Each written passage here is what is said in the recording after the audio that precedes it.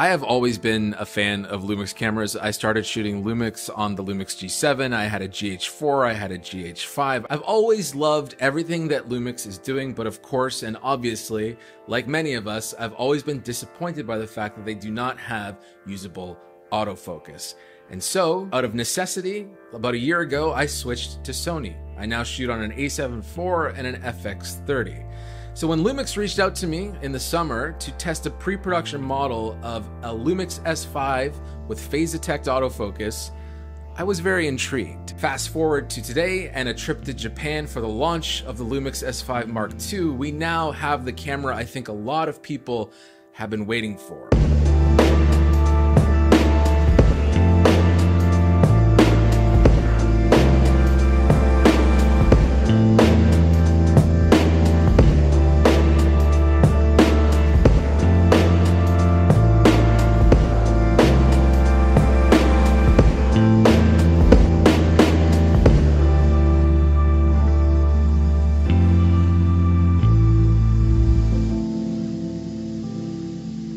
So, quick disclaimer I do have a relationship with Lumix. I had a pre production model of this camera to try and test the autofocus to make it as good and as great as it can be for the final release. And on top of that, I was also flown to Japan for the launch of the S5 Mark II, and I got to test the camera out there in Japan. And as well, I do have a loaner camera that I'm using right now, as well as all of the S primes and a 7200 lens. So a bunch of lenses and the camera were given to me to test all of this out. So that is my disclaimer. I'm not being paid. If I don't like this camera, I'm going to flat out tell you I don't like it. I'm not trying to burn bridges, but at the same time, if this thing sucks, I got to tell you it sucks. So with that out of the way, look, I don't want to fluff this and add a whole bunch of crap to this video because we could easily re-review a Lumix S5 because that's essentially what this is. This is just the Lumix S5 now with a full-size HDMI port and phase detect autofocus. Those are the two things you really need to think about with this camera. There are some other stuff like we now have a fan which allows for unlimited record time, which was a pain on the original Lumix S5 with that 30 minute limit in 10-bit. That is gone. But for all intents and purposes, you can go back and watch every Lumix S5 review I did or other people did, and you will have the bare bones of what this camera is capable of. Now just tack on that full size HDMI port and the star of the show, phase detect autofocus. So first, let's talk about the autofocus. That's obviously the first thing everybody's thinking about. And look, here's my take on it. If you are a content creator, you make YouTube videos, you do stuff for social media, all that kind of stuff, you're not doing super critical client work, I think the autofocus is great. But if you are doing documentary work, commercial work, where you do rely on autofocus for your running gun jobs or your documentary, all that kind of stuff, where you're actually using autofocus for work, I don't think this is quite there just yet. Now, if you're coming from any other Lumix camera, whether it's the original S5 or a GH6, a GH5, S1, S1H, any other Lumix camera, this is a monumental leap forward in autofocus. It actually works. I can move towards the lens. I can move away from the lens and I stay in focus. And I will say the best thing about this camera so far in my experience with Lumix is they listen. So I'm confident in saying that the more people get their hands on this camera and start using it and sharing what's good and what's bad with this system, I think it's just going to keep getting better and better. I'm just being honest and transparent right now that I think as a critical autofocus system that you need to work reliably, I don't think it's on par with what I'm used to with my Sony cameras. So I'm using an a7 IV and an FX30, and I have some side by sides where you can just see that it's a little bit sluggish. It's not always the most tactile and reliable. It doesn't like to snap to things or stick to things as well as Sony, but it is more than usable for probably 90 to 95% of applications.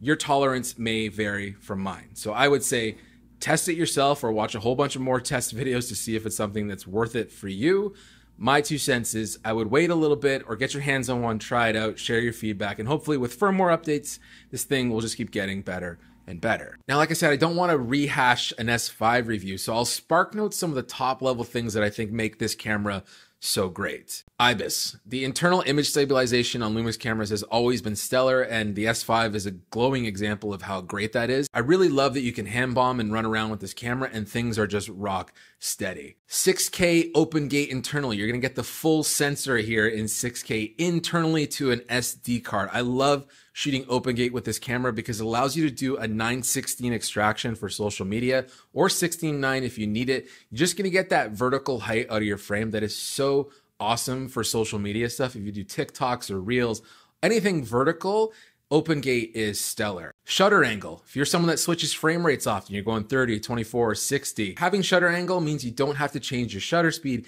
each time. You can just leave this thing at 180 and you're golden and good to go. I love having shutter angle in this camera, and that is something I have seriously, seriously missed using Sony, so it's really nice to have it back on this S5 Mark II. Anamorphic, the S5 and pretty much every Lumix camera has always been a great option for people that like to shoot anamorphic.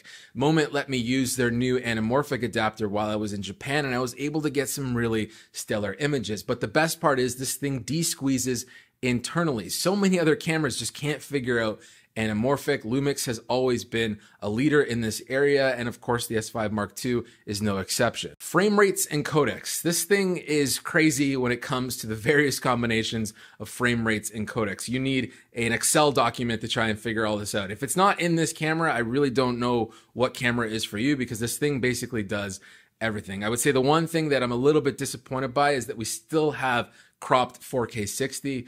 I really want all these cameras that are coming out now to have full frame 4K 60. So it's a little bit disappointed that this one is still cropped, but it is what it is. You still get Cinema 4K. You're going to get 48 frames per second options. You're going to get 4.3 options, APS-C, crop modes. You're going to get 6K full frame internally.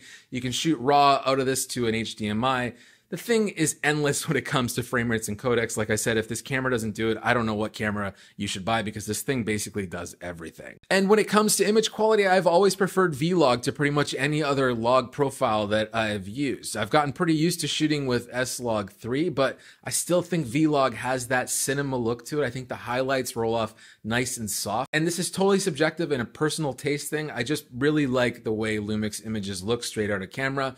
But I will say, having shot Sony for the last year or so, I've gotten stellar things with those cameras as well. It's just a total personal subjective taste thing. I think Lumix Vlog looks really, really nice. So that's all the good stuff. So here's my take overall with this camera. And I don't want to sound like a downer because I'm actually very, very excited about this camera. And I'm even more excited about the future of Lumix now that we have this phase detect system in here. But there's part of me that wonders what a Mark II would have looked like if we had phase detect in the original S5 because I kind of feel like this isn't really a Mark II, it's just an S model. It's not really that much of an upgrade over an S5 aside from the phase detect autofocus. Sure, it's nice that we have the fan system. It's not going to overheat. Not that the S5 ever overheated either, but it's nice that we get no recording limits. It's great that we have a full size HDMI. All of that is cool but there really isn't any other upgrade over the S5. I've been using the FX30 a lot right now, and you know, even though it's Super 35, it just feels like a great dedicated video camera. It has all the bells and whistles and mounting points, and the body is perfect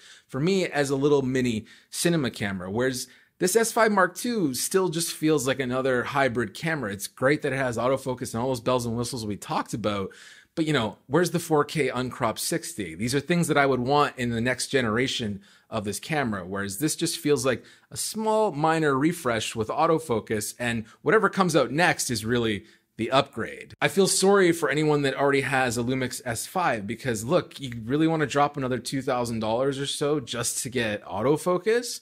It's kind of a pain in the ass, right? And if you already shoot Sony, I don't see this as a camera you would jump ship for. I think it's a great camera to have in your arsenal if you're looking for a B cam or a C cam or a social media camera because that open gate with the autofocus. I think all of that is wonderful if you do TikToks and Reels. I'm seriously considering just making this my YouTube camera now, just the camera that I leave on sticks or I use for TikToks and Reels and all that stuff for clients. Yes, it's the perfect like creator social media camera but I'm still looking for that perfect cinema camera. And I was really hoping something like this could be that. But I want this in like a box system. I want this to look like an FX3 or an FX30. I want a dedicated Lumix video camera that isn't trapped by its photo capabilities. And overall with cameras, I'm just sort of sick of hybrids. Give me dedicated video cameras. And I think that's the best thing that Sony has done in a while is doing the FX3 and the FX30, these little small sort of micro mirrorless cinema cameras are really, really stellar when you're out in the field and you're working. So don't get me wrong, I think this camera is absolutely stellar. Like I said, if you need a social media camera, you need an extra camera in your kit, or it's your first camera, or you're upgrading from like a GH5 or a G7 or a G85, any of the older Lumix cameras, here you go. This is the one to get. It's such an affordable camera with every bell and whistle you could possibly think of or need or want. And now we have very good autofocus. So it's kind of the complete package for a lot of people. But I will leave you with a final thought. A camera like this makes every other camera manufacturer jump back on their heels a little bit because they're all going to see this and go, oh shit. We were kind of riding on the coattails of our own little autofocus here. And, you know, it didn't really matter that our camera didn't have shutter angle and all this stuff and it doesn't have anamorphic. Cough, Sony. Sony's going to look at a camera like this and go, wait a second, we got to step our game up because now they're on us with that autofocus. And look, as these cameras all battle out and these companies fight each other, the only one that wins is us. So every camera is just going to keep getting better and better the more competition there is. So I'm so glad that Lumix is putting a punch in Sony's face with this camera because I think a lot of people are really going to love this camera and get a lot of great images and use out of it. And all it will do is make Sony, Canon, Nikon, all the other guys go, hey, we got to really step our game up because Lumix is poised to take the lead if they continue down this path of making stellar cameras that just work. They just work. They're workhorse cameras. They always have been, and they will continue to be as long as we keep buying them. So that's my take on the S5 Mark II. I might do a video just comparing it directly with the FX30. So if that's something you're interested in, please let me know in the comments. Otherwise, my name is Patrick Tomasso. I hope you liked this video, and you will see or hear me next time I feel like making a video. Cheers.